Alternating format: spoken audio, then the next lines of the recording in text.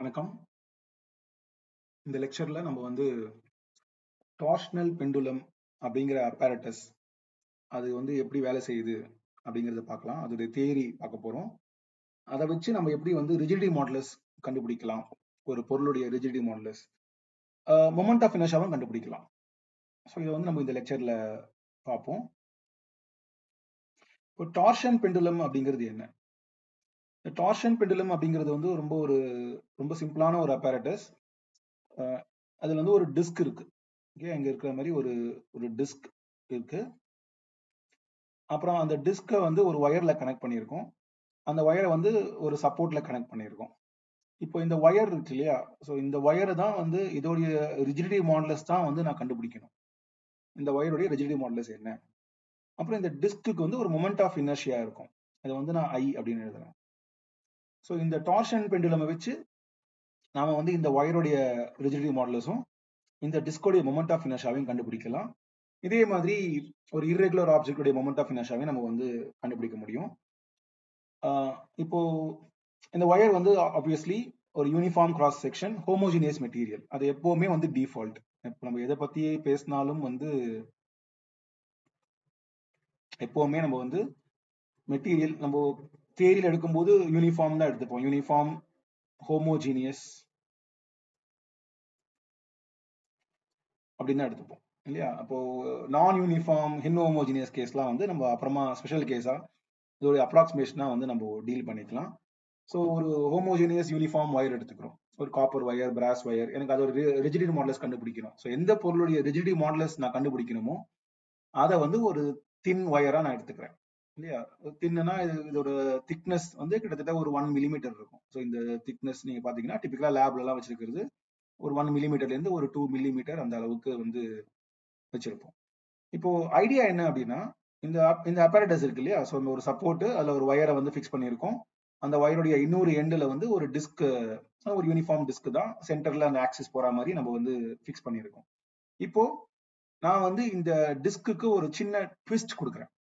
ஒரு சின்ன டேர்ன் இந்த டிஸ்கை வந்து ஒரு டேர்ன் பண்றேன். சின்னதா ஒரு இந்த கிளாக் வைஸோ ஆன்டி கிளாக் வைஸோ நான் ஏதோ வந்து அந்த டிஸ்கை வந்து டேர்ன் பண்றேன். இப்போ நான் டேர்ன் பண்ணா என்ன ஆகும்? ஒரு டீட்டா ஆங்கிள் வந்து நான் இந்த டிஸ்கை வந்து டேர்ன் பண்றேன் வச்சுக்கோங்க. ஸோ இதுதான் ஈக்லிபிரியம் பாயிண்ட் அது டெஸ்க்ல இருக்கு. இங்க இருந்து நான் வந்து ஒரு டீட்டா ஆங்கிளுக்கு இந்த டிஸ்கை வந்து திருப்புறேன். அப்படி திருப்பி நான் ஹோல்ட் பண்ணி வச்சிருக்கேன். இந்த டிஸ்கை திருப்புறதுனால இந்த ஒயர் வந்து ட்விஸ்ட் ஆகுது. இல்லையா? டிஸ்கை வந்து நம்ம டேர்ன் பண்றோம். ஆனா இந்த ஒயர் வந்து ட்விஸ்ட் ஆயிருக்கு. ஸோ அந்த ஒயர்ல வந்து ஒரு முறுக்கு இருக்கு. ட்விஸ்டிங் இருக்கு. அதனால வந்து என்ன ஆகும்? ஒரு ரெஸ்டோரிங் ஃபோர்ஸ் வரும். ஏன்னா அந்த ஒயருக்கு ஒரு ரிஜிடிட்டி மாடலஸ் இருக்கு. ஒரு ரெஸ்டோரிங் ஃபோர்ஸ் வரும். இல்லையா? அப்போ அந்த ரெஸ்டோரிங் ஃபோர்ஸ் என்ன பண்ணும் அப்படின்னா இந்த டிஸ்கை வந்து திருப்பி கொண்டு வர ட்ரை பண்ணும். இப்போ நான் இந்த டிஸ்கை ரிலீஸ் பண்ணிட்டேன் அப்படின்னா இந்த டிஸ்க் வந்து அதோடைய பழைய பொசிஷனுக்கு வரும். இந்த ரெஸ்டோரிங் ஃபோர்ஸ்னால அந்த டிஸ்க் அதோடைய பழைய பொசிஷனுக்கு வந்துடுச்சு அப்படின்னா டீட்டா ஜீரோ ஆயிடும். அப்போ இந்த ஒயர்ல வந்து ஃபர்தரா எந்த ட்விஸ்டும் இல்லை. ரெஸ்டோரிங் ஃபோர்ஸும் ஜீரோ ஆயிடும். ரெஸ்டோரிங் கப்புள் ரெஸ்டோரிங் கப்புள் ஏன்னா இது வந்து ரொட்டேஷன் இருக்கு இல்லையா? அதனால ட்விஸ்டிங் வந்தனாலே வந்து டார்க் இல்ல கப்புள் அப்படிதான் பேசணும். அதனால ரெஸ்டோரிங் கப்புள் ஜீரோ ஆயிடும். ஆனா அந்த திரும்பி வரும்போது அந்த டிஸ்க் வந்து இந்த ஈக்லிபிரியம் பாயிண்ட்டுக்கு வந்து நிக்குமான்னு கேட்டா நிக்காது. ஏன்னா இந்த டிஸ்க்கு வந்து ஒரு மொமெண்ட் ஆஃப் இனர்ஷியா இருக்கு. எப்படி வந்து ஒரு லீனியர் மோஷன்ல வந்து ஒரு மாஸ்க் வந்து இனர்ஷியா இருக்கோ இப்போ அது மூவ் ஆயிட்டே மூவ் ஆயிட்டே இருக்கும் இல்லையா? அது வந்து லீனியர் மோஷன்ல இந்த மாஸோடைய ரொட்டேஷனல் மோஷன் கவுண்டர் பார்ட் தான் வந்து இனர்ஷியான்னு சொல்றோம். மொமெண்ட் ஆஃப் இனர்ஷியா அப்போ வந்து ஒரு பொருள் டேர்ன் ஆயிட்டே இருந்ததுன்னா அது டேர்ன் ஆயிட்டே இருக்கும். ஒரு எக்ஸ்டர்னல் டார்க் கொடுத்து அதை நிறுத்தினாதான் அது நிற்கும். இல்ல அது வந்து ரெஸ்ட்ல இருக்கு அப்படின்னா அது திருப்பதுக்கு ஒரு எக்ஸ்டர்னல் டார்க் தேவை. Newton's first law so Newton's first லாவை நம்ம வந்து ரொட்டேஷன் மோஷன் சொல்லலாம். ஆனா இங்க இனர்ஷியாங்கிறது மாஸ்னால வருது. மொமெண்ட் ஆஃப் இனர்ஷியா அப்படிங்கிறது வந்து மாஸோட டிஸ்ட்ரிபியூஷன்னால வருது. எப்படி வந்து மாஸ் டிஸ்ட்ரிபியூட் ஆயிருக்கு? மொமெண்ட் ஆஃப் இனர்ஷியா அப்படிங்கிறது வந்து சம்மேஷன் ஆஃப் எம்ஐ ஆர்ஐ ஸ்கொயர்னு எழுதலாம். இல்லையா? நீங்க ஸ்கூல்ல படிச்சிருப்பீங்க இதை. ஸோ நமக்கு ரொட்டேஷன் அப்படின்னு வந்தாலே ஒரு ஆக்சிஸ் இருக்கு. ஸோ அந்த ஆக்சிஸை பொறுத்து எப்படி வந்து அதோட டிஃப்ரெண்ட் டிஃப்ரெண்ட் மாசஸ் வந்து அலைன் ஆயிருக்கு அப்படிங்கறத பொறுத்து அந்த மொமெண்ட் ஆஃப் இனர்ஷியான்னு இருக்கு. ஸோ மொமெண்ட் ஆஃப் இனர்ஷியா அப்படிங்கிறது டிஸ்ட்ரிபியூஷன் ஆஃப் மாஸ் மாஸ் எப்படி டிஸ்ட்ரிபியூட் ஆயிருக்கு? ரொம்ப சிம்பிளா சொல்லணும் அப்படின்னா இப்போ ஒரு டிஸ்க் இருக்கு வச்சுக்கோங்க. இந்த டிஸ்கோட சென்டர்ல ஒரு ஆக்சஸை வச்சு நான் அதை டேர்ன் பண்றேன். ஒரு எனக்கு நான் ஒரு கப்புள் அப்ளை பண்ணணும் இல்ல ஒரு டார்க் அப்ளை பண்ணணும் ஏதோ ஒண்ணு. இதே டிஸ்கை நான் இந்த ஆக்சிஸை வந்து தள்ளி வைக்கிறேன். கொஞ்சம் சென்டர்ல இருந்து தள்ளி வச்சு நான் அதை ரொட்டேட் பண்ண ட்ரை பண்றேன். இப்படி ரொட்டேட் பண்ணாம நான் வந்து இப்படி ரொட்டேட் பண்ண ட்ரை பண்றேன். இல்ல இந்த ஆங்கிள் பண்ண ட்ரை பண்றேன். ஏதோ ஒண்ணு. என்னோட ஆக்சிஸ் தள்ளி போயிடுச்சு. இங்க இருந்து ஆக்சிஸ் இப்ப நான் இங்க போட்டேன் என்ன ஆகும் ஆட்டோமேட்டிக்கா நமக்கு வந்து அதிகமான டார்க் தேவை. ஸோ இந்த ஆக்சிஸ்ல ரொட்டேட் பண்றதை விட இந்த ஆக்சிஸ் ரொட்டேட் பண்றதுக்கு எனக்கு அதிகமான டார்க் தேவை. ஆனா மாஸ் மாறலையே. ஒரே மாஸ் தானே. டிஸ்க் மாறல அதே மாஸ் தான். ஆனா ஏன் அதிகமான டார்க் தேவைப்படுது அப்படின்னா ஏன்னா இந்த ரொட்டேஷனல் மோஷன்ல வந்து மாஸ் பிரச்சனை இல்லை. மொமெண்ட் ஆஃப் இனர்ஷியா தான் பிரச்சனை. மொமெண்ட் ஆஃப் இனர்ஷியா வந்து இந்த ஆக்சிஸ்ல இருக்கும்போது கம்மியா இருக்கு. ஏன்னா இந்த ஆக்சிஸ்ல பாத்தீங்கன்னா உங்களுக்கு வந்து இங்க ஒரு மாஸ் இங்க ஒரு மாஸ்னு எடுத்தீங்கன்னா எல்லாமே ஓரளவுக்கு சிமெட்ரிக்கா பிளேஸ் ஆயிருக்கு. ஆனா இந்த ஆக்சிஸ்ல வரும்போது என்ன ஆயிடுதுன்னா அதிகமான அதிகமான மாஸ் வந்து தள்ளி இருக்கு. ரொம்ப தூரத்துல இருக்கு. கம்மியான மாஸ் தான் இந்த பக்கம் இருக்கு. அப்ப நமக்கு வந்து அத இந்த ஆக்சிஸை திருப்புறதுக்கு ரொட்டேட் பண்றதுக்கு நிறைய டார்க் தேவை. அதனால ரொட்டேஷ்னல் மோஷன்ல வந்து நமக்கு மொமெண்ட் ஆஃப் இனர்ஷியா தான் முக்கியம். ரொட்டேஷனல் மோஷன் அப்படின்னு வந்ததுன்னா மொமெண்ட் ஆஃப் இனர்ஷியா தான் முக்கியம். இப்போ என்ன ஆயிடுச்சு? டிஸ்க் வந்து ஒரு ஈக்லிபிரியம்ல ரெஸ்ட்ல இருந்தது. நான் அதுக்கு ஒரு சின்ன ட்விஸ்ட் கொடுத்தேன். அப்படி கொடுத்ததுனால இந்த ஒயர் வந்து ட்விஸ்ட் ஆச்சு. ஸோ ஒயர்ல வந்து ஒரு ஷியரிங் ஸ்ட்ரெயின் இருக்கு. அதனால ஒரு ரெஸ்டோரிங் கப்புள் உருவாச்சு. இந்த டிஸ்கை ரிலீஸ் பண்ண அப்படின்னா அது திரும்பி வரும். இல்லையா? அது திரும்பி வரும். ஆனா அந்த ஈக்லிபிரியம் பாயிண்ட்டுக்கு மறுபடியும் வந்தது அப்படின்னா அந்த இடத்துல அந்த டிஸ்க் நிக்காது. அந்த இடத்துல வந்து ரெஸ்டோரிங் கப்புள் ஜீரோ ஆயிடுச்சு. அந்த ஒயர்ல எதுவும் ஸ்ட்ரெயின் கிடையாது. ஆனா இப்போ டிஸ்க் ரொட்டேட் ஆயிருக்கு இல்லையா? அது ஸ்டாப் ஆகாது. அப்போ அதுக்கு ஒரு இனர்ஷியா இருக்கு. அப்போ அந்த டிஸ்க் ஃபர்தரா ரொட்டேட் ஆகும். ஆப்போசிட் டைரக்ஷன்ல நான் எப்படி டைரக்ஷன் ட்விஸ்ட் பண்ணேனோ அந்த டைரக்ஷனுக்கு ஆப்போசிட்ல அந்த டிஸ்க் வந்து மூவ் ஆகும். நான் ரொட்டேட் பண்ண டைரக்ஷன் ஆப்போசிட்ல ஃபர்தரா போகும். கிட்டத்தட்ட ஐடியலா ஐடியலான ஒரு டிஸ்க் வந்து அதே டீட்டா ஆங்கிள் இப்போ இங்க டீட்டா டியூஸ் பண்ணோம்னா இந்த பக்கமும் அதே டீட்டா ஆங்கிளுக்கு வரும். ரியல்ல கொஞ்சம் கம்மியாகும். ஏன்னா டேம்பிங் இருக்கு இல்லையா? நம்ம இங்க டேம்பிங் நெக்லெக்ட் பண்றோம். அதனால திருப்பி டீட்டாக்கே வருதுன்னு வச்சுக்கோம் அப்ப என்ன ஆயிடுதுன்னா இப்போ இந்த ஒயரை வந்து ஆப்போசிட்ல ட்விஸ்ட் பண்ணுது. இந்த டிஸ்க் அது டினர்ஷியானால அப்போ இந்த பாயிண்ட் வர வரைக்கும் அதை ட்விஸ்ட் பண்ண முடியும். அப்படியே ரெஸ்டோரிங் ஃபோர்ஸ் அதிகமாகிட்டே வரும். ரெஸ்டோரிங் கப்பல் அதிகமாகிட்டே வரும். அப்போ அது டீட்டா வரைக்கும் போகும். அங்க நின்றுடும் அப்போ அந்த இடத்துல வந்து அந்த இனர்ஷியானால வந்த மோஷன் அதோடைய இதுவும் இந்த ரெஸ்டோரிங் கப்பலும் ஈக்குவலா இருக்கு. அப்போ அந்த இடத்துல நிற்கும் ஆனா அங்க நிற்குமா நிக்காது. ஏன்னா ரெஸ்டோரிங் கப்பல் இருக்கு இல்லையா? இப்போ மேக்ஸிமம் ரெஸ்டோரிங் கப்பல் இருக்கு. அப்போ டிஸ்க் மட்டும் ஆப்போசிட் டைரக்ஷன்ல போக ஆரம்பிக்கும். அப்போ என்ன ஆகுதுன்னா இந்த ரெஸ்டோரிங் கப்புள்னாலையும் மொமெண்ட் ஆஃப் இனர்ஷியானாலையும் நீங்க இந்த டிஸ்க் லைட்டா டேர்ன் பண்ணி விட்டீங்கன்னா அது நிக்காது. அது வந்து முன்ன பின்ன முன்ன பின்னன்னு போக ஆரம்பிக்கும். இல்லையா? இப்படி திரும்பும் அப்படி திரும்பும் கிளாக் வைஸ் ஆன்டி கிளாக் வைஸ்னு போகும். அதுதான் ஆசிலேஷன்ஸ் ஸோ அந்த டிஸ்க் வந்து it will start to oscillate இந்த டேர்னிங் மோஷன்ல நம்ம பொதுவாக ஒரு ஆசிலேஷன் அப்படின்னா ஒரு பெண்டுலம்னு எடுத்துப்போம் இல்லையா? நமக்கு உடனே பெண்டுலம் மைண்ட்ல வரும். பெண்டுலம் வந்து இப்படி போகுது டூ அண்ட் ஃப்ரோ முன்ன பின்ன போகுது. இது வந்து turning clockwise anti clock வைஸ்னு டேர்ன் ஆகுது. இதைத்தான் நம்ம வந்து டார்ஷனல் ஆசிலேஷன்ஸ் அப்படின்னு சொல்றோம். ஏன்னா அது டார்ஷன் டார்ஷன் அப்படின்னா முறுக்கு. இல்லையா? மறுபடியும் சொல்றேன் சாப்பிடுற முறுக்கு இல்ல டார்ஷன் அப்படின்னா ஒரு ட்விஸ்ட் முறுக்குதல் முறுக்கு கம்பின்னா சொல்றோம் இல்லையா? முறுக்குதல். முறுக்கும் அதான். ஏன்னா நம்ம முறுக்கு பண்ணும்போது அதை திருப்பி திருப்பி சுத்தி சுத்தி விடுறாங்க இல்லையா? அதனால அது முறுக்குன்னு பேர் வச்சிருக்காங்க. அதனால டார்ஷன் அப்படிங்கிறது முறுக்கு. அதனால இது வந்து இந்த கம்பியை வந்து முறுக்குது இல்லையா? இப்படி ஒரு ஒரு ஆசிலேஷனே அந்த கம்பியை முன்ன பின்ன முறுக்குது. அதனால இது அதனாலதான் இது ஆசிலேட் ஆகுது. இந்த கம்பியில முறுக்கிறதுனால ஷியர் ஸ்ட்ரெயின் வருது. அதோட ரிஜிடி மாடலஸ்னால அது திரும்பி வர பாக்குது மொமெண்ட் ஆஃப் இனர்ஷியனால அது ஃபர்தரா போகுது. அதனால மாறி மாறி போறதுனால இந்த டார்ஷன்னால இது ஆசிலேட் ஆகுது அப்படின்றதுனால இதை வந்து நம்ம டார்ஷன் பெண்டுலம் அப்படின்னு சொல்றோம். டார்ஷன் பெண்டுலம்னு சொல்லலாம். இல்ல டார்ஷனல் பெண்டுலம்னு சொல்லலாம். ஒன்றும் பிரச்சனை இல்லை. ஸோ டார்ஷன் அப்படின்றது அப்ஜெக்டிவ் தான். டார்ஷனல் அப்படிங்கிறது அப்ஜெக்டிவ் தான். டார்ஷனல் பெண்டுலம் அப்படின்னு சொல்லலாம். இப்போ ஆசிலேஷன் அப்படின்னு வந்துட்டாலே ஒரு டைம் பீரியட் இருக்கும். அந்த டைம் பீரியட் நம்ம கண்டுபிடிக்க போறோம். ஸோ அந்த டைம் பீரியடை வந்து இந்த moment of inertia rigidity modulus connect பண்ணி நம்ம எழுத போறோம். ஸோ நம்ம இந்த பெண்டுலமுடைய டைம் பீரியடை மெஷர் பண்றது மூலமா இந்த ஒயருடைய ரிஜிடி மாடலஸையும் இந்த டிஸ்கோடைய மொமெண்ட் ஆஃப் இனர்ஷியாவையும் கண்டுபிடிக்கலாம் அப்படிங்கிறது தான் ஐடியா இல்லையா? இப்போ ஆனா அந்த டைம் பீரியட் எப்படி எழுதுறது? நாம என்ன பண்ணலாம்? இந்த பெண்டுலம் ஆசிலேட் ஆகும் பொழுது இல்லையா? ஸோ இது வந்து ஒரு ரிஜிடிட்டி மாடலஸ் இருக்கு. இதுக்கு ஒரு மொமெண்ட் ஆஃப் இனர்ஷியா இருக்கு. நான் இதை ட்விஸ்ட் பண்ணி விட்டேன்னா இந்த பெண்டுலம் வந்து இப்படி டார்ஷனல் ஆசிலேஷன்ஸ் எக்ஸிக்யூட் பண்ணும். அதுக்கு ஒரு டைம் பீரியட் இருக்கும். ஒரு ஃப்ரீக்வன்சி இருக்கும். நியூன்னு எழுதலாம் ஃப்ரீக்வன்சியை நான் என்ன காட்ட போறேன் அப்படின்னா நான் என்ன காட்ட விரும்புறேன் என்ன எஸ்டாப்ளிஷ் பண்ண விரும்புறேன் அப்படின்னா இந்த பெண்டுலமுடைய ஆசிலேஷன்ஸ் ரைட் இந்த டார்ஷன் இல்ல டார்ஷனல் ஆசிலேஷன்ஸ் அப்படிங்கிறது சிம்பிள் ஹார்மோனிக் மோஷன் அப்படின்னு நான் காட்ட விரும்புறேன். சிம்பிள் ஹார்மோனிக் மோஷன் அப்படின்னா என்ன? இல்லையா? ரொம்ப சிம்பிளா சொல்லணும் அப்படின்னா ஒரு மோஷன் இப்போ இது வந்து டீட்டாலாம் வேரியபிள் நமக்கு வந்து இந்த டிஸ்க் எவ்வளவு தூரம் போகுது இல்லையா? நான் இந்த டிஸ்க் எவ்வளவு தூரம் டேர்ன் ஆகுது அப்படின்றத நான் டீட்டான்னு எடுத்துக்கிறேன். என்னோட வேரியபிள் வந்து டீட்டா ஆங்குலர் டிஸ்பிளேஸ்மெண்ட் நான் இது ஆங்குலர் டிஸ்பிளேஸ்மெண்ட்ல எழுதுறேன். நான் என்ன பண்ணலாம்? அந்த டீட்டா அப்படிங்கிறது இது ஃபங்க்ஷன் ஆஃப் டைம் டைம் பொறுத்தது மாறுது இல்லையா? அந்த டீட்டாவை வந்து நான் ஒரு ஏ காஸ் ஒமேகா டி அப்படின்னு எழுத முடியும். இல்ல ஏ சைன் ஒமேகா டி அப்படின்னு எழுத முடியும் அப்படின்னா அதுதான் சிம்பிள் ஹார்மோனிக் மோஷன் ஹார்மோனிக் அப்படின்னா இந்த காஸ் இல்ல சைன் ஃபங்க்ஷன் அந்த ஷேப் அந்த வேவோடைய ஷேப் அதுதான் ஹார்மோனிக் காஸ் இல்ல சைன் ஃபங்க்ஷன் தான் ஹார்மோனிக் சிம்பிள் இந்த இடத்துல சிம்பிள் அப்படின்னா என்ன? சிம்பிள்ங்கிறது வந்து லீனியரை குறிக்குது. லீனியர் லீனியர்னா என்ன? ஸோ எந்த வேரியபிள் எந்த ஃபங்க்ஷன் இருக்கோ அது வந்து சிங்கிள் வேரியபிள் இல்லையா? சிங்கிள் பவர்ல வந்ததுன்னா அதான் லீனியர் ஸ்கொயர் கியூப்லாம் கிடையாது. நீங்க காஸ் ஸ்கொயர் இருந்ததுன்னா அது சிம்பிள் ஹார்மோனிக் கிடையாது. இல்லையா? காஸ் கியூப் கிடையாது கிடையாது.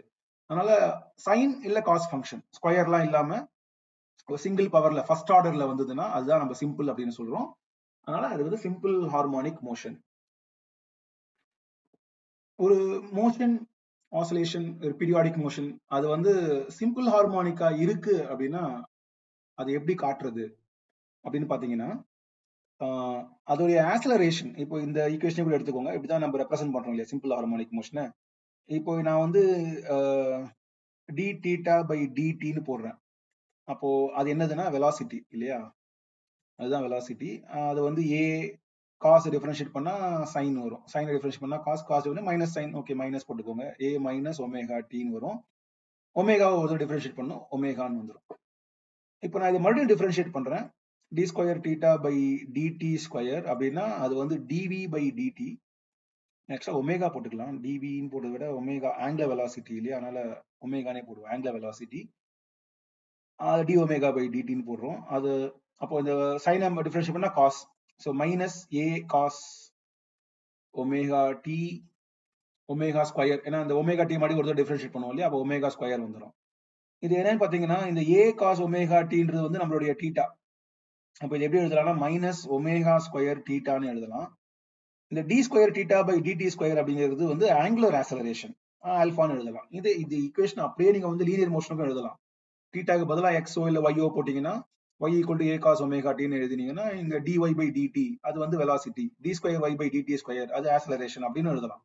அப்போ acceleration is equal to minus omega square x இல்ல ஒய் ஏதோ ஒன்று நீங்க எப்படி உங்க எந்த ஆக்சஸ் கன்சிடர் பண்றீங்கன்றத பொறுத்து நீங்க எக்ஸ் இல்ல ஒய்னு போட்டுக்கோங்க. ஏதோ ஒன்று என்ன ஐடியா அப்படின்னா நம்மளுடைய ஆசலரேஷன் ப்ரொபோர்ஷனல் டு டிஸ்பிளேஸ்மெண்ட் இல்லையா? அதுதான். ஆசலரேஷன் வந்து டிஸ்பிளேஸ்மெண்ட்டுக்கு ப்ரொபோர்ஷனலா இருக்கு. மைனஸ் ஒரு மைனஸ் வருது. Acceleration is proportional to minus displacement அப்படின்னா ரெண்டும் ஆப்போசிட் டைரக்ஷன்ல இருக்குன்னு அர்த்தம். டிஸ்பிளேஸ்மெண்ட் எந்த டைரக்ஷன்ல இருக்கோ அதுக்கு ஆப்போசிட்ல ஆசலரேஷன் இருக்கு அப்படின்னு அர்த்தம். இப்போ இந்த ஈக்குவேஷன் எங்கேயோ பார்த்தா மாதிரி இருக்கா? பரவாயில்ல. பார்த்தா மாதிரி இருக்கோ இல்லையோ என்ன பண்ணலாம்னா நம்ம வந்து கூட ஒரு மாஸ் சேர்த்துக்கலாம். இப்போ இந்த இடத்துல A equal to minus omega square wine போட்டிருக்கோம் இல்லையா? இந்த இடத்துல ஒரு மாஸ் சேர்த்துக்கோங்களேன். ஸோ இங்க எம் ஒமேகா ஸ்கொயர்னு எழுதிக்கோங்க. எம்ஏ என்னது? எம்ஏன்றது வந்து force F equal to minus k x k y நான் ஒய் போட்டிருக்கேன் ஏதோ ஒன்று கே ஒய்யோ எக்ஸோ டைரக்ஷன் அவ்வளவுதானே. நான் ஒய் சூஸ் பண்ணா ஒய் எக்ஸ் சூஸ் பண்ணா எக்ஸ் அது ஒரு டைரக்ஷன் எந்த டைரக்ஷன்ல மோஷன் நடக்குது? டிபிக்கலா ஒய்னா வெர்டிகல் மோஷன் வச்சுக்கிறோம் எக்ஸ்னா ஹாரிசான்டல் மோஷன் வச்சுக்கிறோம். F equal to minus k இல்ல கே ஒய் இது என்னது? இதுதான் வந்து ஹூக்ஸ் லா இல்லையா? நீங்க ஸ்ப்ரிங் படிச்சிருப்பீங்க. ஸோ ஒரு ஸ்ப்ரிங் ஈக்குவேஷன் அப்படின்னு எழுதலாம். X equal to minus k y அப்ப என்ன அர்த்தம்? நமக்கு இது எஃப்ன்றது ரெஸ்டோரிங் ஃபோர்ஸ் இல்லையா? ஸோ இந்த force restoring force is proportional to displacement so ஒரு ஸ்ப்ரிங் இருக்கு அப்படின்னா அந்த ஸ்ப்ரிங்கை நம்ம எவ்வளவு தூரம் கம்ப்ரஸ் பண்றோம் அதுக்கேற்ற மாதிரி வந்து அந்த ரெஸ்டோரிங் ஃபோர்ஸ் இருக்கும். மைனஸ் சைன் நம்ம கம்ப்ரஸ் பண்ணோம் அப்படின்னா ரெஸ்டோரிங் ஃபோர்ஸ் வந்து அந்த ஸ்ப்ரிங்கை மறுபடியும் நீட்டுறதுக்கு ட்ரை பண்ணுது. இல்ல எலாங்கேட் பண்றோம் அந்த ஸ்ப்ரிங்கை இழுக்கிறோம் அப்படின்னா அந்த ரெஸ்டோரிங் ஃபோர்ஸ் வந்து மறுபடியும் அந்த ஸ்ப்ரிங்கை பழையபடி கொண்டு வர ட்ரை பண்ணுது. அதனால அந்த மைனஸ் சைன் வந்து ஆப்போசிட் டைரக்ஷன் ஆனா இந்த கண்டிஷன் தான். நீங்க இப்படி எழுதினாலும் சரி ஹூக்ஸ் லாவா எழுதினாலும் சரி இல்லைன்னா ஆசலரேஷன் இஸ் ப்ரொபோஷனல் டிஸ்பிளேஸ்மெண்ட் எழுதினாலும் சரி இந்த கண்டிஷன் தான் வந்து நம்மளுடைய சிம்பிள் ஹார்மோனிக் மோஷன் அப்படின்னு நம்ம சொல்றோம். இல்லையா? ஒரு நிமிஷம் இப்போதைக்கு இந்த டார்ஷன் பெயின் நம்ம கொஞ்சம் மறந்துட்டு நம்ம இதை மட்டும் பேசுவோம். இப்போ எனக்கு என்ன கிடைச்சது அப்படின்னா என்னுடைய ஆசலரேஷன் இல்லையா? ஸோ ஆசலரேஷன் வந்து இது equal to minus omega square theta acceleration is proportional to displacement ஒரு மைனஸ் சைன் இருக்கு அது வந்து ஆப்போசிட் டைரக்ஷன்ல இருக்கு அப்படின்னு நம்ம பார்த்தோம். இப்போ இதுல இருந்து நம்ம இதுதான் வந்து சிம்பிள் ஹார்மோனிக் மோஷனுக்கான கண்டிஷன் ஸோ இந்த கண்டிஷன் சாட்டிஸ்ஃபை ஆச்சு. எப்போ ஒரு ரெஸ்டோரிங் ஃபோர்ஸ் இருக்கோ அந்த ரெஸ்டோரிங் ஃபோர்ஸ் வந்து டிஸ்டன்ஸுக்கு ப்ரொபோர்ஷனலா இருக்கோ ரைட் அப்போ வந்து உங்களுக்கு சிம்பிள் ஹார்மோனிக் மோஷன் நடக்கலாம். அந்த ஆசிலேஷன் வந்து சிம்பிள் ஹார்மோனிக்கா இருக்கும். இது பல சிஸ்டங்கள்ல நம்ம பார்க்குறோம். நிறைய இடங்கள்ல யூனிவர்ஸ்ல வந்து இந்த சிஸ்டம் இருக்கு. ஒரு ஒரு ஆட்டம் மாலிக்யூல்ல இருந்து ஒரு என்டையர் யூனிவர்ஸ் வரைக்கும் கூட ஒரு ஸ்டார் கூட நீங்க வந்து இதை எடுத்துக்கலாம். எனிவே இப்போ நம்ம ஒரு ஆங்குலர் ஆசிலரேஷனா பார்க்கலாம். ஆங்குலர் ஆசிலரேஷன் வந்து ப்ரொபோஷனல் டு ஆங்குலர் டிஸ்பிளேஸ்மெண்ட் எழுதியிருக்கோம். இப்போ நம்ம ஒரிஜினலா எழுதினோம் இல்லையா? Theta theta equal to A cos omega t அப்படின்னு எழுதினோம். இந்த ஒமேகான்றது தான் நம்ம ஆங்குலர் ஃப்ரீக்வன்சின்னு சொல்றோம். அப்படின்னா என்ன? Omega equal to two pi nu இல்லையா? ஒமேகா வந்து டூ பை நியூன்னு எழுதலாம். இப்போ இந்த இடத்துல நீங்க பாத்தீங்கன்னா இப்போ ஓகே ஒமேகாக்கு டூ பை நியூ எழுதிப்போம். இப்போ நியூ ஈக்குவல் டு நியூ தான் ஃப்ரீக்வன்சி இல்லையா? Nu equal to two omega by two pi right so nu equal to omega by two பைன்னு எழுதலாம். இது ஃப்ரீக்வன்சி டைம் பீரியட் வந்து ஒன் பை நியூ இல்லையா? So T வந்து one by frequency அப்போ T எழுதுறதுன்னா two pi by ஒமேகான்னு எழுதிடலாம். Time period right இப்போ இந்த ஈக்குவேஷன் பாருங்க இதான் கண்டிஷன் சொன்னோம். சிம்பிள் ஹார்மோனிக் மோஷனுக்கு இதுதான் கண்டிஷன் சொன்னோம். இதுல இருந்து ஒமேகா என்ன அப்படின்னு நம்ம எழுத முடியும். ஒமேகா என்ன? ஒமேகா வந்து அந்த மைனஸ் சைனை டிராப் பண்ணிடுவோம். ஏன்னா அது டைரக்ஷன் தான் காட்டுது இல்லையா? ஆசலரேஷனும் டிஸ்பிளேஸ்மெண்ட்டும் ஆப்போசிட் டைரக்ஷன் அப்படின்னு காட்டுது. இப்போ ஒமேகா ஸ்கொயர் இந்த இருந்து நான் எழுதுறேன். ஸோ இந்த ஈக்குவேஷன்லேருந்து எடுத்து எழுதினா ஒமேகா ஸ்கொயர் அப்படிங்கிறது வந்து alpha by theta acceleration by displacement இல்லை angular acceleration by angular displacement அப்போ ஒமேகா என்ன? ஒமேகா வந்து root of alpha by theta இந்த வந்து இந்த ஒமேகாவை இங்க போடலாம். ஃப்ரீக்வன்சிலையும் டைம் பீரியட் ஈக்குவேஷனையும் நம்ம வந்து சப்ஸ்டியூட் பண்ணலாம். பண்ணோம் அப்படின்னா எனக்கு வந்து ஃப்ரீக்வன்சி என்ன கிடைக்குது அப்படின்னா ஒன் பை டூ பை ஏன்னா ஒமேகா பை டூ பைன்னு இருக்கு இல்லையா? அப்போ one by two pi omega என்னது? அப்படியே எழுதிடலாம். ஆல்பா பை டீட்டா அப்படின்னு எழுதலாம். இல்ல டைம் பீரியட் எழுதுறதா இருந்ததுன்னா டைம் பீரியட் வந்து two pi two pi root of theta by alpha ஏன்னா ஒன் பை ஒமேகா இல்லையா? அப்போ வந்து ஒமேகா வந்து root of alpha by theta அப்படின்னா ஒன் பை ஒமேகா வந்து root of theta by alpha இதுதான் நம்ம வந்து ஒரு கான்ஸ்டன்டான இல்ல காமனான ஃபார்முலாவா வச்சுக்கிறோம். எப்போ நீங்க வந்து ஒரு மோஷன் சிம்பிள் ஹார்மோனிக் மோஷன் அப்படின்னு சொல்லிட்டீங்களோ அப்போ நீங்க இமீடியட்டா என்ன பண்ணலாம்? டைம் பீரியட் அப்படின்றத வந்து டூ பை ரூட் ஆஃப் நம்ம ஜென்ரலா எழுதுவோம். இது வந்து angular displacement by angular acceleration இருக்கு. பொதுவாக எழுதுவோம் டிஸ்பிளேஸ்மெண்ட் டிவைட் பை ஆசலரேஷன் அப்படின்னு எழுதலாம். அது ஆங்குலரா இருக்கட்டும் லீனியரா இருக்கட்டும் எப்படி வேணா எழுதலாம். இதை ஞாபகம் வச்சுக்கோங்க இந்த ஃபார்முலாவை ஸோ இதை எழுதிட்டோம் அப்படின்னா நமக்கு டைம் பீரியட் கிடைச்சிரும். இல்லை ஒன் பை போட்டிங்கன்னா ஃப்ரீக்வன்சி கிடைச்சிரும். நமக்கு டைம் பீரியட் தான் நம்ம சொன்னோம் இல்லையா? டைம் பீரியட் தான் தேவை. அதனால இப்போ நான் வந்து சிம்பிள் பெண்டிலமுக்கு டார்ஷன் பெண்டிலமுக்கு வரேன். இப்போ டார்ஷன் பெண்டிலமுக்கு வந்தேன் அப்படின்னா நான் பண்ண வேண்டியதெல்லாம் ஒன்றே ஒன்று தான். எனக்கு வந்து அந்த டார்ஷன் பெண்டிலமோட டைம் பீரியட் என்னன்னு தெரியணும். அது தெரியறதுக்கு நான் என்ன பண்ணணும்? அந்த டார்ஷனல் ஆசிலேஷன்ஸ் வந்து சிம்பிள் ஹார்மோனிக்கா இருக்கு அப்படின்னு காமிச்சா போதும். So torsional oscillation simple harmonic motion நான் சொல்லிட்டேன் ப்ரூவ் பண்ணிட்டேன் அப்படின்னாலே நான் வந்து டைம் பீரியட் எழுதிடலாம். டைம் பீரியட் வந்து two pi root of displacement by acceleration அப்படின்னு ஈஸியாக எழுதிட்டு போயிடலாம். இப்போ அதை எப்படி ப்ரூவ் பண்றது அப்படின்னா இந்த கண்டிஷனை யூஸ் பண்ணணும் இல்லையா? சிம்பிள் ஹார்மோனிக் மோஷன் ப்ரூவ் பண்றதுக்கு ஆசலரேஷன் வந்து டிஸ்பிளேஸ்மெண்ட்டுக்கு ப்ரொபோஷனலா இருக்கு அப்படிங்கிற கண்டிஷனை நான் வந்து ப்ரூவ் பண்ணணும். இப்போ இதை தான் நம்ம வந்து பண்ண போறோம். நம்ம டார்ஷன் பெண்டிலமுக்கு மறுபடியும் வரும். ஸோ இது வந்து ஈட்டா இது வந்து ஐ இந்த டிஸ்கோடைய moment of inertia I so இந்த டார்ஷனல் பெண்டுலம் வந்து சிம்பிள் ஹார்மோனிக் மோஷனா ஸோ இதோடைய டார்ஷனல் ஆசிலேஷன்ஸ் டார்ஷனல் ஆசிலேஷன்ஸ் வந்து சிம்பிள் ஹார்மோனிக் மோஷனா அப்படின்னு நான் ப்ரூவ் பண்ணணும். ஸோ நான் என்ன பண்றேன்? இந்த டிஸ்க் வந்து இதோடைய ஈக்லிபிரியம் பாயிண்ட் டீட்டா நாட்னு வச்சுக்கோங்க. ஈக்லிபிரியம் அந்த பொசிஷன்ல இருந்து நான் வந்து இதை ஒரு டீட்டா ஆங்கிளுக்கு ட்விஸ்ட் பண்ணியிருக்கேன். அந்த இடத்துல ரிலீஸ் பண்றேன். அது வந்து ஆசிலேட் ஆகுது. அப்போ இந்த பக்கம் டீட்டாக்கு போகுது. திருப்பி இந்த பக்கமும் டீட்டா தான் வரும்.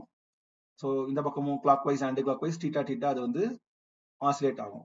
இப்போ இந்த ஆசிலேட் ஆகிற இந்த பெண்டுலமை நம்ம வந்து கன்சிடர் பண்ணுவோம். இதோடைய எனர்ஜி என்ன? இது ஒரு மெக்கானிக்கல் சிஸ்டம் இல்லையா? அப்போ வந்து எனர்ஜி என்ன? So total energy total energy வந்து kinetic energy plus potential energy அப்படின்னு எழுதலாம்.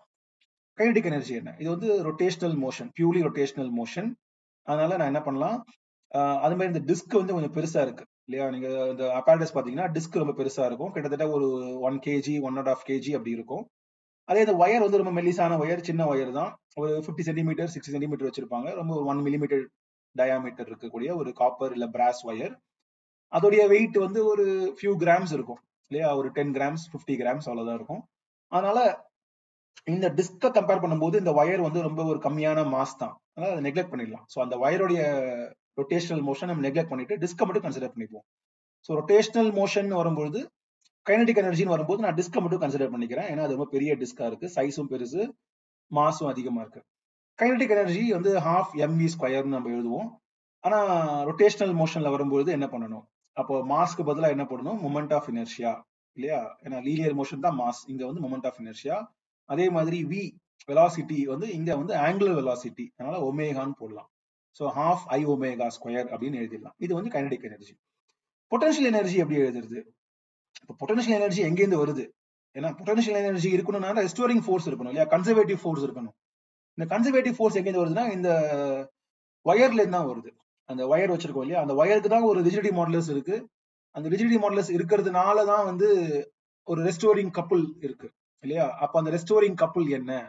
இங்க தான் நம்ம வந்து போன வீடியோல நம்ம டெரைவ் பண்ணோம். நீங்க அந்த வீடியோவை பாருங்க. போன டாபிக் நம்ம டெரைவ் பண்ணோம். கப்புள் பர் யூனிட் ட்விஸ்ட் அப்படின்னு நம்ம ஒரு டெரைவ் பண்ணோம் இல்லையா? கப்புள் பர் யூனிட் ட்விஸ்ட் வந்து pi eta r power four by two l அப்படின்னு நம்ம டெரைவ் பண்ணோம். இந்த லென்த் இந்த ஒயரோட லென்த் வந்து எல் அப்படின்னா அதோட ரேடியஸ் இந்த ஒயர் சிலிண்ட்ரிக்கலா இருக்கு இல்லையா? அதோட ரேடியஸ் ஆர் அப்படின்னா கேபிட்டல் ஆர்னு எடுத்துக்கிறோம். ஈட்டா வந்து அது ரெஜிடே மாடலஸ் அப்ப அந்த ஒயரை வந்து ஒரு unit angle one radiant twist பண்றதுக்கு எனக்கு இவ்வளோ கப்புள் தேவை இவ்வளோ டார்க் தேவை அப்படின்னு நான் சொல்றேன் இல்லையா? அப்போ அதை வந்து டீட்டா ஆங்கிள் ட்விஸ்ட் பண்றதுக்கு எனக்கு எவ்வளவு டார்க் தேவை அப்படின்னு நான் கேட்குறேன். அதை வந்து மாறும். அந்த டீட்டா மாற மாற அது வந்து மாறும். அப்போ நான் மொத்தமாக டீட்டான்னு எடுக்க முடியாது.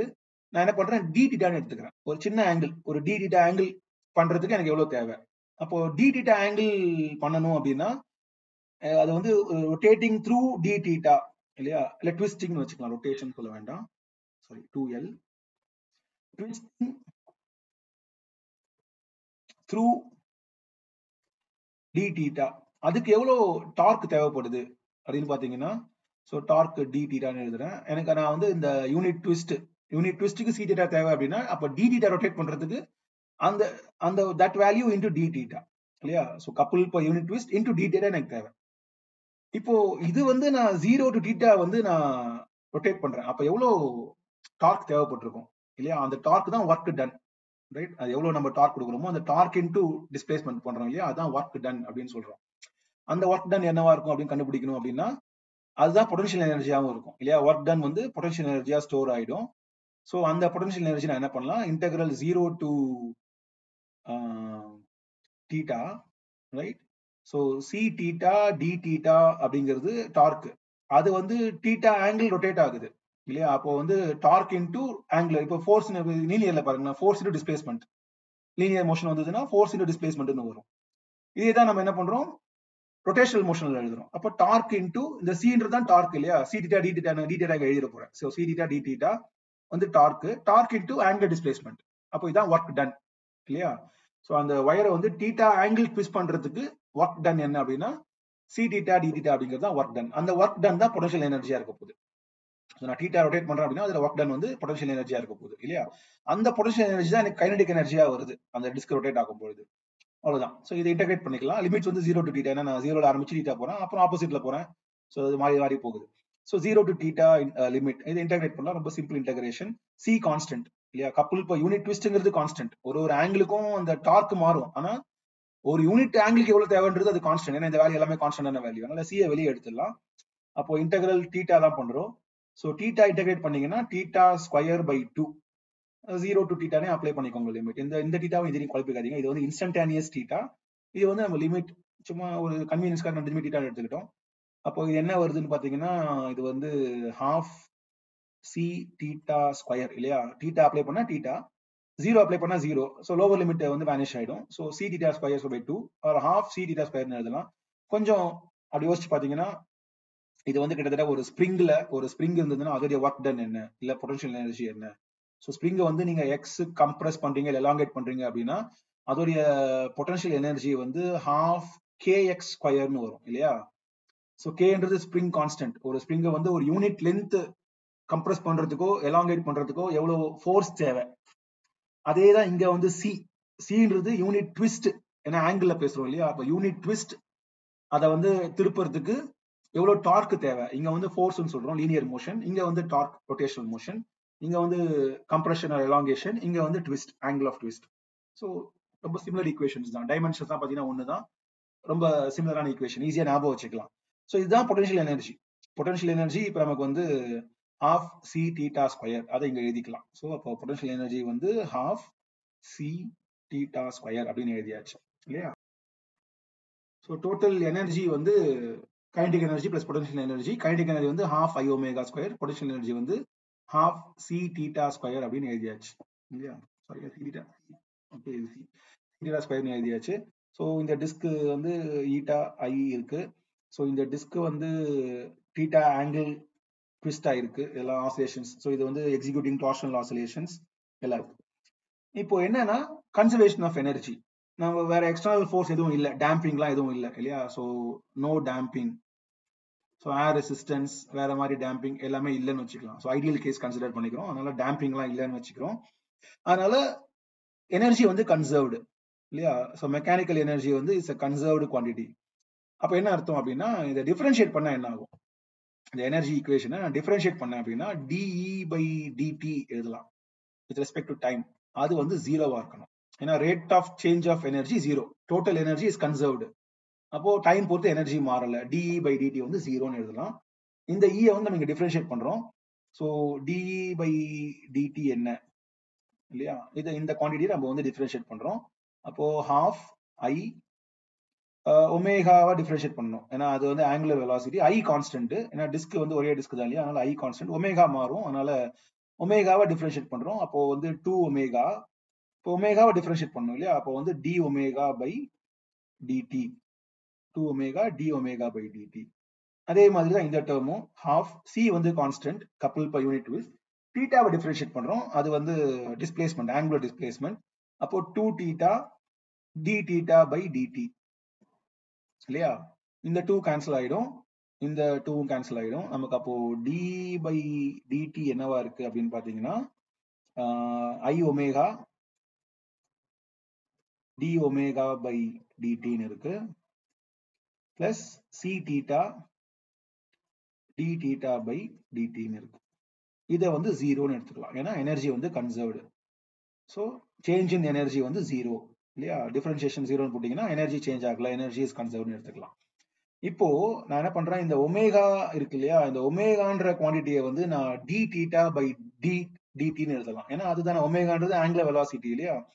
ஸோ ஒமேகா அப்படிங்கிறது ஆங்குலர் வெலாசிட்டினா அப்போ rate of change of angular displacement அப்படின்னு எழுதலாம். அப்போ இந்த குவான்டிட்டி நான் என்ன எழுதலாம்? இங்க வந்து இது ஐ இருக்கு. So I d theta by dt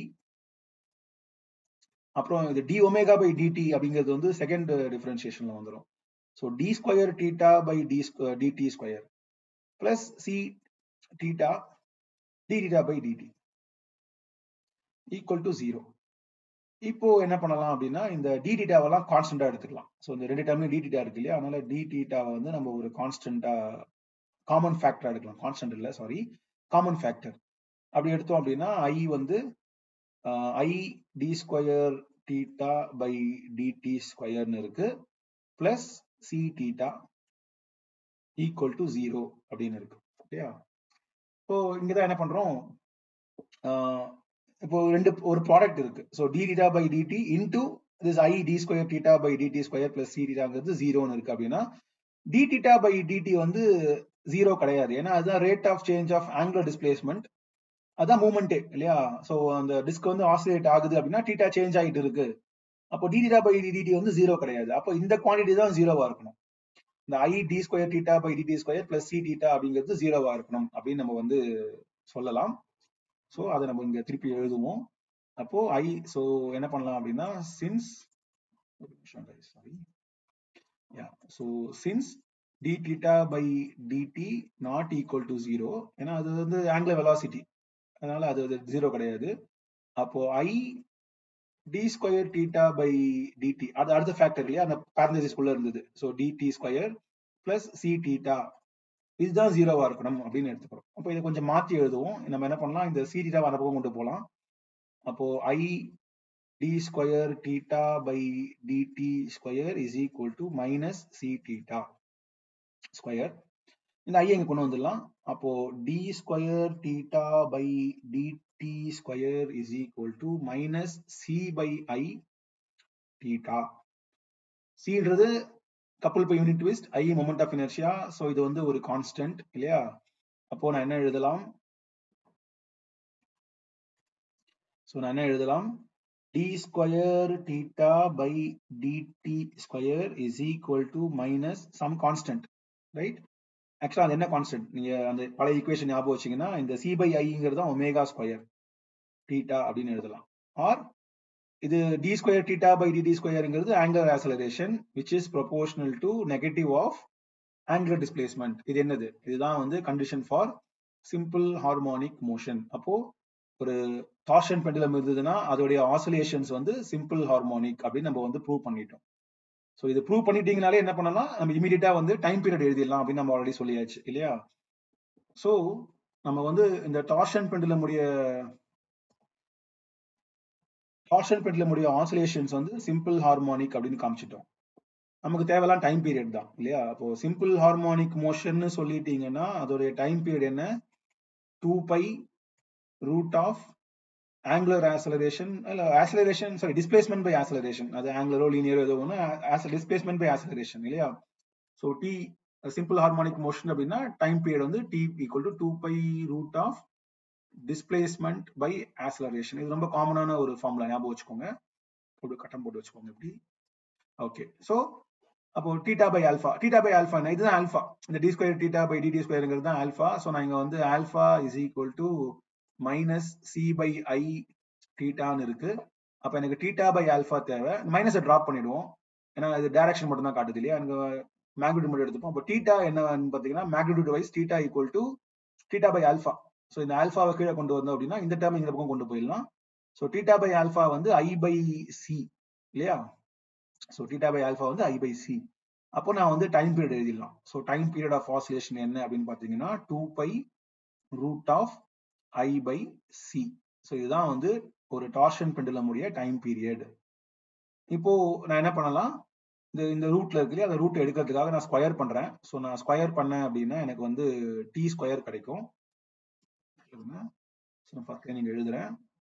அதை கலர் மாத்திக்கலாம். ரொம்ப கலர் மாத்தினா தான் கண் வலிக்காம இருக்கும் இல்லையா?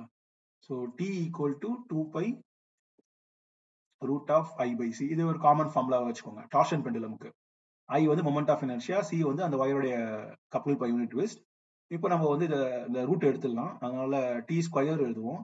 ஸோ டி ஸ்கொயர் வந்து four pi square I by C but ஆனால் சி என்ன? சி ஞாபகம் இருக்கா? நம்ம தான் டெரிவ் பண்ணோம் இல்லையா? கப்பல் பை யூனிட் ட்விஸ்ட் அது வந்து pi eta r power four divided by two l இந்த லென்த் இந்த வயருடைய லென்த் வந்து எல் இல்லையா? ஸோ இது வந்து எல் ரிஜிடி மாடலஸ் வந்து ஈட்டா இதோடைய டயாமீட்டர் வந்து ஆர் திக்னஸ் வந்து டயாமீட்டர் இந்த ஒயருடைய திக்னஸ் வந்து டயாமீட்டர் கேபிட்டல் ஸ்மாலோ போட்டுக்கோங்க. அப்போ ரேடியஸ் வந்து அந்த டயாமீட்டர்ல பாதி இல்ல திக்னஸ்ல பாதி. இல்லையா? அது ரேடியஸ் அப்புறம் இந்த டிஸ்க் இருக்கு. இதோடைய மொமெண்ட் ஆஃப் இனர்ஷியா ஐ அது இங்க போட்டிருக்கோம். ஸோ இப்போ இந்த சியை வந்து இங்க எழுதலாம். அப்போ டி ஸ்கொயர் என்னவாகும் அப்படின்னா ஃபோர் பை ஸ்கொயர் ஐ சியை வந்து கீழே எழுதணும். அப்போ டூ எல் மேலே வந்துடும் இல்லையா? ஸோ டூ எல் மேலே நியூமரேட்டர் வந்துடும் இந்த pi eta r power four இது டினாமினேட்டரில் இருக்கும். இப்போ இந்த பை கேன்சல் பண்ணிடுவோம். ஸோ நமக்கு வந்து eight pi I l divided by eta r power four அப்படின்னு கிடைக்குது. நமக்கு தேவை வந்து ரிஜிடி மாடல்ஸ் தான். நம்ம சொன்னோம் இல்லையா? ஸோ டார்ஷன் பெண்டுலம் வச்சு அதோடைய டைம் பீரியட் மெஷர் பண்றது மூலமா நம்ம வந்து ரிஜிடி மாடல்ஸ் கண்டுபிடிக்க போறோம்னு சொன்னோம். ஸோ அந்த வயரோட ரிஜிடிட்டி மாடல்ஸ் என்ன அப்படின்றது. ஸோ அப்போ ரிஜிடிட்டி மாடல்ஸ்க்கு இந்த ஃபார்முலா மாற்றி எழுதலாம். அப்போ rigidity modulus equal to eight pi I l divided by T square r power four அப்படின்னு எழுதிடலாம்.